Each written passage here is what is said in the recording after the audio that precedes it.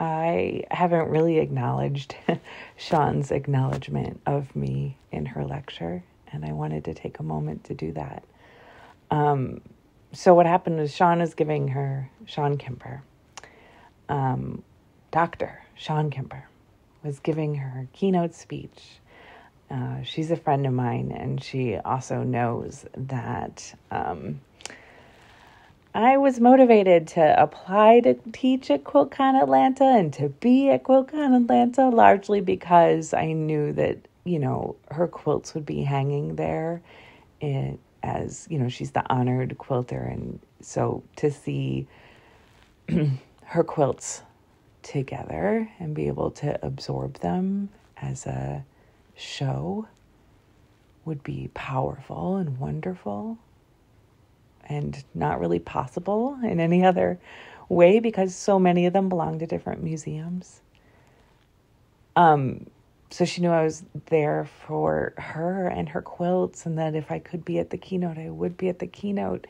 And I was at the keynote, and she knew that. And um, she's someone who takes, um, she doesn't just talk the talk, she walks the walk and knows that quilting is inspired by so many things and comes from so many places and um, specific quilt communities have been fed by various people at various times.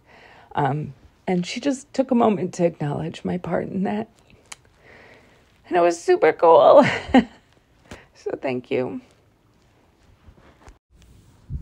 So Chawne's talk was about, you know, her personal journey. Uh, she, you know, always grew up in a crafting family and started knitting when she moved somewhere with a winter, started quilting as well. Found her way um, on Flickr to a group called Fresh Modern Quilts, and she just took took a moment to talk about that group. Um, and I, it's a group I founded almost through a quirk of history. Uh, but it is that it did, it was a big part of my life for a while. And it was also where modern quilting first had a community. Uh, and community was the overwhelming theme of her lecture finding and uh, building community. So it was just really cool. And I took away so much more than just her acknowledgement. I am all fired up now to uh, make new quilters and to make sure that um, people know how to find and make communities within the quilting world.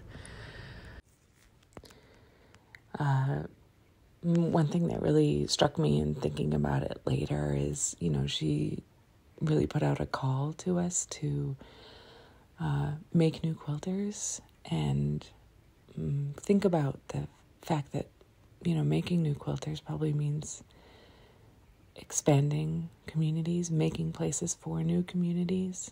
Um, but like when I started that Flickr group, I wasn't trying to start a community. I was trying to um, find more pictures of quilts that looked like the quilts that I was making and wanted to make. So it doesn't have to be a grand plan it was kind of something that occurred to me. Um, i was looking at um, her photos. She has a photo of students from michigan state university black students um, responding to her quilt uh, the one for eric g that says i can't breathe on it. Um, how moved. They were by it. And um, that university isn't terribly far from my house, maybe an hour. And I was just like, oh, right, here are young black people that can see the power of quilting and might be interested in putting some thread through some fabric.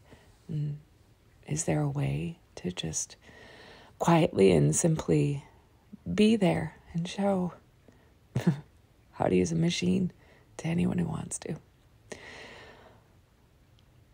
Small steps have uh, can have big results.